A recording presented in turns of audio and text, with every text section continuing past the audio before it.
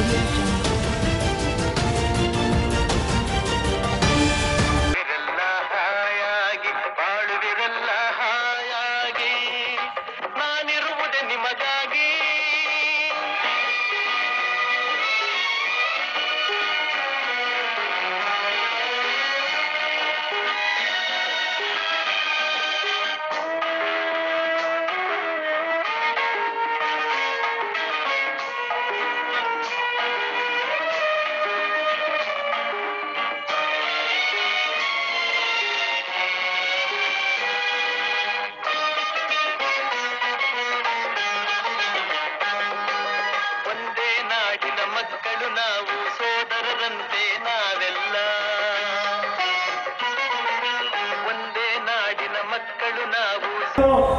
ಮತ್ತೆ ನಮ್ಮ ಅಧ್ಯಕ್ಷರು ಹರೀಶ್ ಅವರು ಮತ್ತೆ ವಿಶ್ವನಾಥ್ ಗೌಡರ ಮಂಡಲದ ಅಧ್ಯಕ್ಷರು. ದಯಮಾಡಿ ಎಲ್ಲರೂ ಕೂಡ ಇರೋದ್ರಿಂದ ಇದನ್ನ ಎಲ್ಲರಿಗೂ ಕೂಡ ಸಿಗ್ತದೆ. ಏನೇನು ಗುರುತೇ ಇರ್ತಕ್ಕಂಥವರಲ್ಲಿ ಒಂದು ಎಂಬತ್ತು ನೂರ ಕಡಿಮೆ ಇದು ಅವರಿಗೆ ಓಟ್ ಲಿಸ್ಟಿಲ್ಲ ಐಡೆಂಟಿ ಕಾರ್ಡ್ ಇಲ್ಲ. ಅಂತವ್ರು ಕೊಡೋದಕ್ಕೆ ವಿನಂತಿ ಮಾಡಿದ್ರೆ ಅದು ಕೂಡ ಕೂಡ ಕೇಳ್ತೀನಿ ಕೊನೆಗೆ ಕೊಡ್ತಾರೆ. ಕೇಳಬೇಡ್ರಿ, ಒಳ್ಳೊಳ್ಳೆ ಕೆಲಸಗಳಾಗ್ತಾ ಇದೆ. ಆ ಕೆಲಸಗಳ ಜೊತೆಯಲ್ಲಿ ನಿಮ್ಮ ಆರೋಗ್ಯನೂ ಕೂಡ ಮುಖ್ಯ ಅನ್ನೋದನ್ನು ಹೇಳಿ ನಿಮ್ಮೆಲ್ಲ ಒಳ್ಳೆಯದಾಗಲಿ ಧಾರೈಸಿ ನಾನು ಮಾತು ಮುಗಿಸ್ತೀನಿ. ಈಗ ಈ ಕಾರ್ಯಕ್ರಮಕ್ಕೆ ನಮ್ಮ ಜನಪ್ರಿಯ ರಾಜರಾಜೇಶ್ವರಿ ಕ್ಷೇತ್ರದ ಶಾಸಕರು, ನನ್ನ ಸನ್ನಿಹಿತರಾಗಿರ್ತಕ್ಕಂಥ ಮುನಿರತ್ನ ಅವರು ಬಂದಿದ್ದಾರೆ. ನಾನು ಜೋರಾಗಿ ಅವರು ಚಪ್ಪಾಳೆ ಹೋಗಿ ಈಗಾಗಲೇ ಅವರ ಕ್ಷೇತ್ರದಲ್ಲಿ ಸುಮಾರು ಎಪ್ಪತ್ತು ಸಾವಿರ ಆರೈಕೆಗಳನ್ನ ಕೊಟ್ಟಿರ್ತಕ್ಕಂಥ ಕೀರ್ತಿ ಕರ್ನಾಟಕ ರಾಜ್ಯದಲ್ಲಿ ಸನ್ಮಾನ್ಯ ಮುನಿರತ್ನ ಅವರು ಅವ್ರು ಬಿಟ್ಟರೆ ಗೋವಿಂದರಾಜ ಗಣ್ಯರಿಂದ ಮಾತನ್ನ ಈ ಸಂದರ್ಭದಲ್ಲಿ ಹೇಳಿ. ನಿಮಗೆಲ್ಲ ಒಳ್ಳೆಯದಾಗಬೇಕು ಅಂತ ಬಯಸಿ ನಾನು ಮಾತು ಮುಗಿಸ್ತೀನಿ.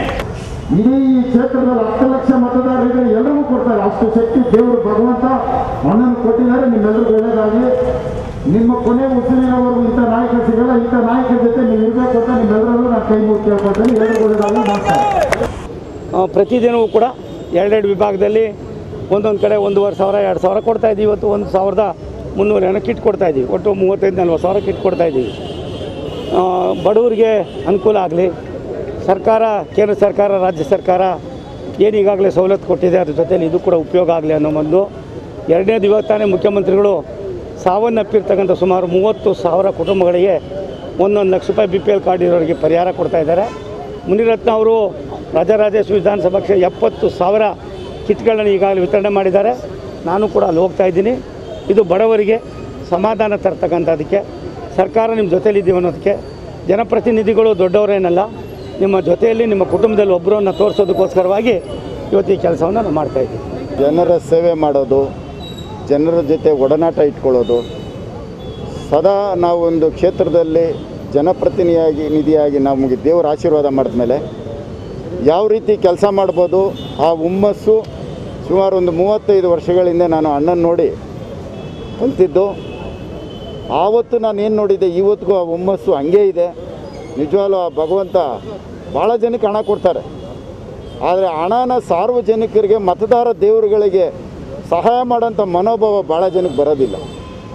ಆದರೆ ಅಂಥ ಒಂದು ದೊಡ್ಡ ಮನಸ್ಸು ಇವತ್ತು ನಮ್ಮ ಗೋವಿಂದರಾಜನಗರದಲ್ಲಿ ಅಣ್ಣ ಸೋಮಣ್ಣವ್ರಿಗೆ ಇವತ್ತು ಅದೆಲ್ಲ ಮಾಡ್ತಾಯಿದ್ದಾರೆ ಅವ್ರಿಗೆಲ್ಲರಿಗೂ ಒಳ್ಳೆಯದಾಗಲಿ ನಮ್ಮ ಯುವ ನಾಯಕರು, ನಮ್ಮ ಅರುಣ್ ಅವರು ಭಾಳಷ್ಟು ಶ್ರಮಪಟ್ಟು ಇಡೀ ಕ್ಷೇತ್ರ ತಂದೆ ಯಾವ ರೀತಿ ಒಂದು ಪಾದರಸ ಥರ ಓಡಾಡ್ತಾ ಇದ್ರು ಅದೇ ರೀತಿ ನಮ್ಮ ಅರುಣವರು ಸಹ ಓಡಾಡ್ತಾ ಇದ್ದಾರೆ. ಅವ್ರಿಗೂ ಸಹ ಒಳ್ಳೆಯದಾಗಲಿ ಅಂತ ನಾನು ಬಯಸ್ತೀನಿ.